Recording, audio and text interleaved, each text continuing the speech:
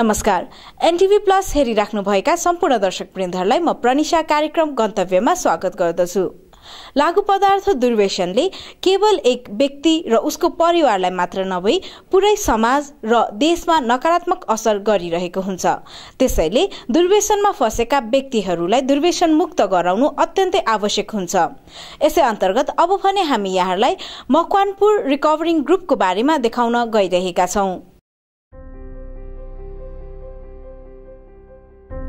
बेरोजगारी र मानसिक तनावका कारण अहिले धेरै नेपाली युवाहरू जाँड रक्सी तथा लागु औषध जस्ता दुर्व्यसनमा फसिरहेका छन्। लागु औषध दुर्व्यसनले कुनै एक व्यक्ति र उसको परिवारलाई मात्र हानि पुर्याउँदैन यसले पुरै समाज र देशलाई नै असर पुर्याउँछ। त्यसैले दुर्व्यसनमा फसेका व्यक्तिहरूलाई दुर्व्यसन मुक्त बनाउन अति आवश्यक छ। दुर्व्यसनमा फसेकाहरूलाई समाजले अपराधीको संज्ञा दिने गरेको छ।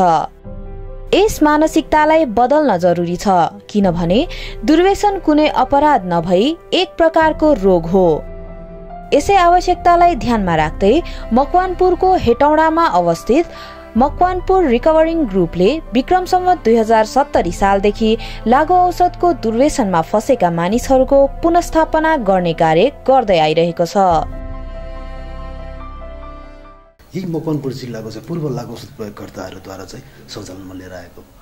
यो जुन टोल समाजले हेर्ने नजर एउटा लागु औषध प्रयोगकर्ताहरूलाई एउटा लागु औषध प्रयोगकर्ता भन्ने बित्तिकै उसलाई चाहिँ एउटा अपराधी एउटा यसले यसले केही गर्नै सक्दैन भन्ने एउटा जुन मान मान्छेमा एउटा जुन त्यो मानसिकता छ जुन सोचाइ छ त्यसले गर्दाखेरि चाहिँ एउटा लागु औषध प्रयोगकर्ताहरूले चाहिँ चाहेर पनि राम्रो हुन सकिरहेको अवस्था छैन।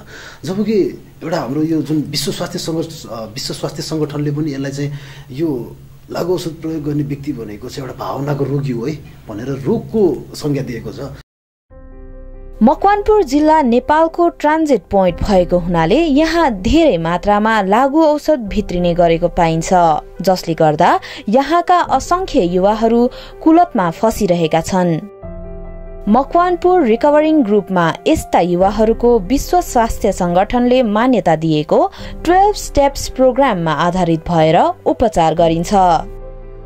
यस सुधार केन्द्रमा मकवानपुर मात्र नभई देशका विभिन्न जिल्लाहरूबाट मानिसहरू उपचार गराउन आउने गरेका छन्।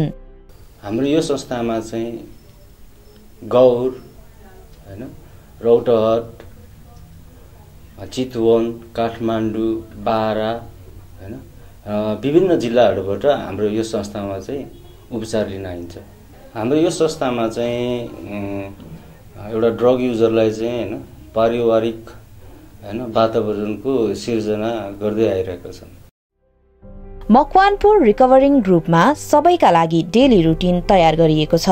बिरामीहरूको दिनचर्या यसै रुटिनको आधारमा चल्छ।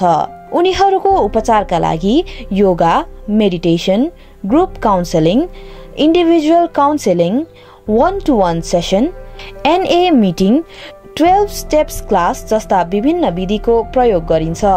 मकवानपुर रिकभरिङ ग्रुपमा बिरामीहरूको मनोरञ्जनका लागि ह्याप्पी आवरको पनि व्यवस्था गरिएको छ। जुन समयमा उनीहरूले नाचगान तथा खेलकुद जस्ता अतिरिक्त क्रियाकलापहरूमा समय व्यतीत गर्छन्।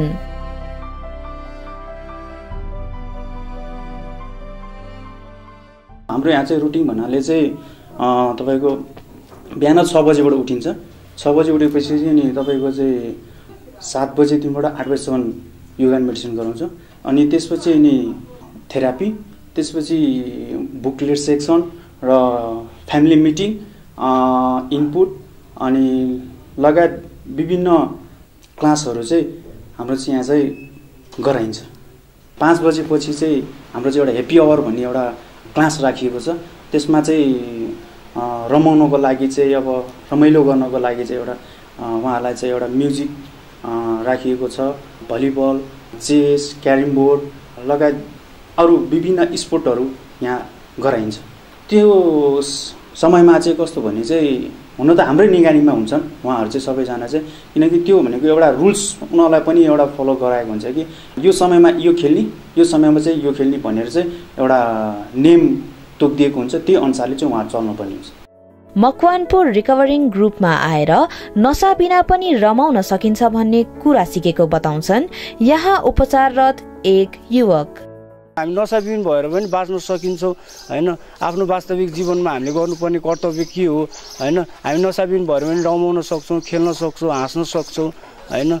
सुत्न सक्छौँ होइन? त्यो कुराहरू हामीलाई नसा चाहिँदैन भन्ने चिजहरू अहिले मैले ऱ्याप सेन्टरमा आएर सिकेको छु होइन? नसाबिन भएर बाँच्न सकिन्छ होइन? आफ्नो जिम्मेवारीहरू के हो भन्ने बुझ्न सकिन्छ भनेर आफ्नो आमा बुवाले थाहा पाएको कारणले गर्दाखेरि मलाई आमा बुवाले ल्याएर यहाँनिर हालिदिनु भएको हो। लागु पदार्थ तथा जाँड रक्सीको दुर्व्यसनमा फँसेकाहरूको मानसिकतामा पनि असर परिरहेको हुन्छ। आफू बाहेक अरू सबै गलत हुन्छन् भन्ने उनीहरूको धारणा हुन्छ। यस्तो मानसिकतामा परिवर्तन ल्याउन मकवानपुर रिकभरिङ ग्रुपमा शारीरिक मानसिक र आध्यात्मिक अभ्यास गराइन्छ। प्राय मानिसहरूले चाडपर्वहरूमा रमाइलोको लागि जाँड रक्सी तथा अन्य लागु पदार्थको सेवन गर्ने गरेको पाइन्छ। त्यसैले यस्ता चाडपर्वहरूमा यहाँबाट उपचार गराएकाहरूलाई यसै संस्थामा राखी चाडपर्व मनाइन्छ। मकवानपुर रिकभरिङ ग्रुपको वातावरण शान्त र सुन्दर छ जसले गर्दा बिरामीहरूको उपचारमा पनि मद्दत पुगेको छ। यहाँबाट हालसम्म चार सय जनाको पुनस्थापना भइसकेको छ। पुनस्थापित हुनेहरूमा लागु औषध तथा जाँड रक्सीको कुलतमा फँसेकाहरूका साथै बानी व्यवहारमा समस्या आएका मानिसहरू पनि छन्। मकवानपुर रिकभरिङ ग्रुपले विभिन्न कारणवश घर परिवार गुमाएका सडक पालकहरू जो कडा लागु औषधमा फँसेका छन् उनीहरूलाई निशुल्क आवासीय उपचार सेवा प्रदान गर्दै आइरहेको छ। यदि कोही व्यक्ति लागु पदार्थ दुर्व्यसनीमा फँसेका छन् भने यस संस्थामा आएर उपचार अथवा परामर्श लिन सक्नुहुन्छ। मकवानपुर रिकभरिङ ग्रुपले विभिन्न सरकारी तथा गैर सरकारी निकायहरूसँग समन्वय गरी जनचेतनामूलक कार्यक्रमहरू पनि सञ्चालन गर्दै आइरहेको छ। ती संस्थाहरू हुन् recovering Nepal National Association of PLWHA in Nepal, Social Welfare Council Nepal, SWC, Nepal सरकार गृह मन्त्रालय हेटौडा उपमहानगरपालिका जिल्ला जनस्वास्थ्य कार्यालय मकवानपुर र जिल्ला विकास समिति मकवानपुर मकवानपुर रिकभरिङ ग्रुपबाट पुनः स्थापित हुने सबैले केही न केही सिप सिकुन् भन्ने सोचका साथ विभिन्न किसिमका तालिमको व्यवस्था गरेर उनीहरूलाई सिप सिकाउने उद्देश्य यस सुधार गृहले लिएको छ। जुन यो समस्याहरू छ अहिले मकवानपुर जिल्लामा यसको लागि चाहिँ हामीले चाहिँ तपाईँको विभिन्न जोखिमपूर्ण टोल समाजमा गाउँहरूमा गाविसहरूमा जुन एउटा लागु औषध प्रयोगकर्ता जन्मिने ठाउँ भनौँ स्कुल विद्यालयहरूमा क्याम्पसहरूमा गइ गएर चाहिँ हाम्रो यस मकवानपुर रिकभरिङ समूहले चाहिँ लागु औषध विरुद्धको चाहिँ एउटा जनचेतनामूलक कार्यक्रमहरू सञ्चालन गर्दै ल्याइरहेको अवस्था चाहिँ छ।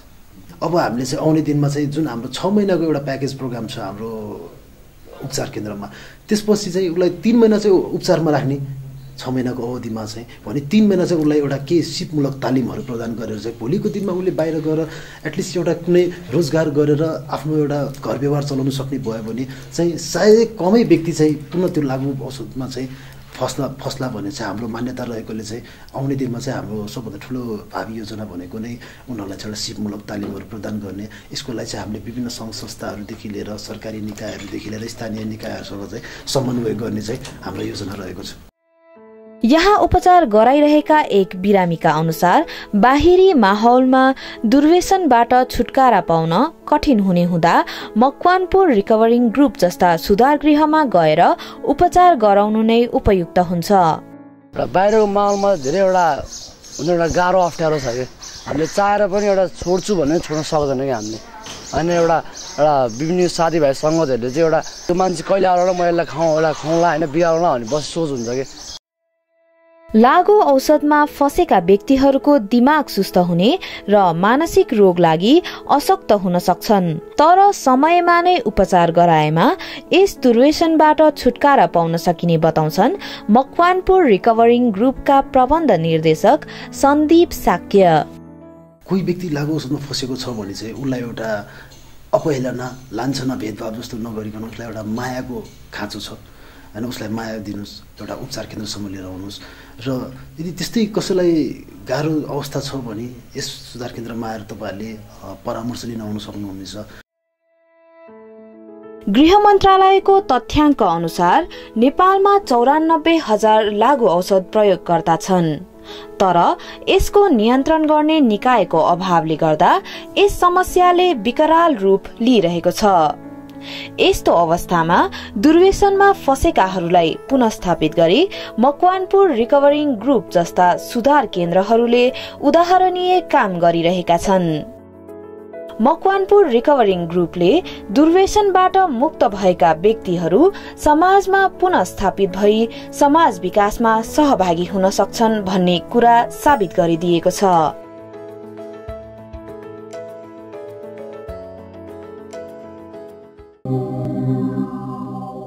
हवस् त दर्शकवृन्द आजको लागि भने हाम्रो कार्यक्रमको निर्धारित समय सकिसकेको छ। यदि यहाँहरूको हाम्रो कार्यक्रमप्रति कुनै पनि जिज्ञासा प्रतिक्रिया छन् भने हामीलाई अवश्य पनि मेल गर्न सक्नुहुन्छ।